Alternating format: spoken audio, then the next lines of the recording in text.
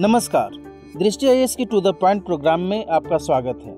आज का टॉपिक है ढोल, यानी एशियाटिक वाइल्ड डॉग। सबसे पहले बात करते हैं यह चर्चा में क्यों है। दरअसल एक नए अध्ययन के मुताबिक भारत में ढोल, यानी एशियाटिक वाइल्ड डॉग के संरक्षण के मामले में कर्नाटक, महाराष्ट्र और मध्य प्रदेश शीर्ष स्थान पर हैं। इन तीनों राज्यों ने वनों में आवास की पर्याप्त व्यवस्था के साथ ढोल की संख्या में बढ़ोतरी के लिए विशेष प्रयास किए हैं। यह अध्ययन wildlife conservation society India, Florida university wildlife conservation trust और national centre for biological sciences के वैज्ञानिकों द्वारा किया गया। अध्ययन की मुख्य बातों की चर्चा करें। तो अध्ययन में कहा गया है कि अरुणाचल प्रदेश, छत्तीसगढ़, ओडिशा, तेलंगाना और गोवा को वन और वन्य जीव क्षेत्रों में वित्तीय निवेश बढ़ाने की ज़रूरत है।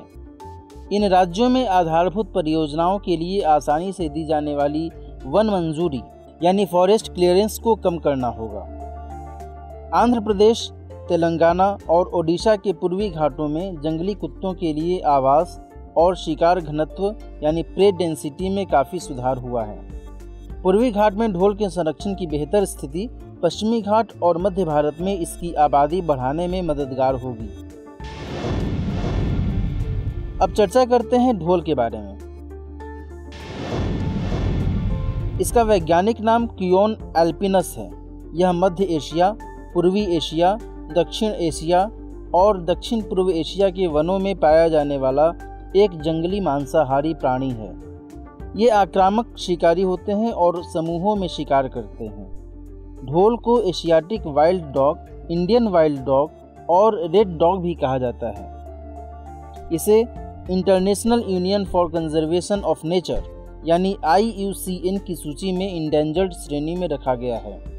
यह convention on international trade in endangered species of wild fauna and flora यानी साइट्स के अपेंडिक्स टू में सूचीबद्ध है।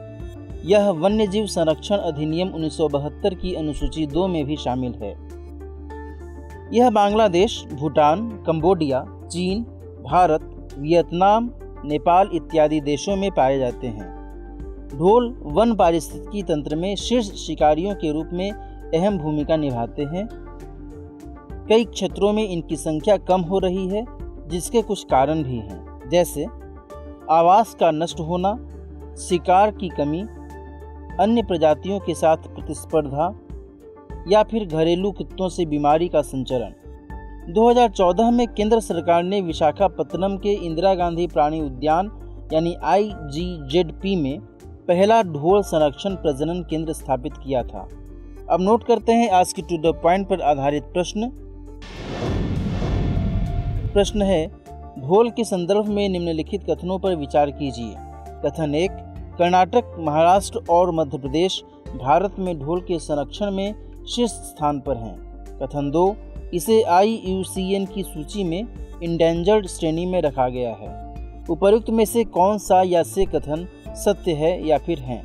केवल एक, केवल दो, एक और दो दोनों, इनमें से कोई नहीं। इस प्रश्न का सही जवाब कमेंट बॉक्स में देना न भूलें। अगले सेशन में कुछ और नए टॉपिक्स के साथ हम आपके साथ फिर मिलेंगे। तब तक के लिए नमस्कार। हमारे वीडियो अंग्रेज़ी में देखने के लिए फॉलो करें। हमारा ही दूसरा यूट्यूब चैनल दृष्टि आई इंग्लिश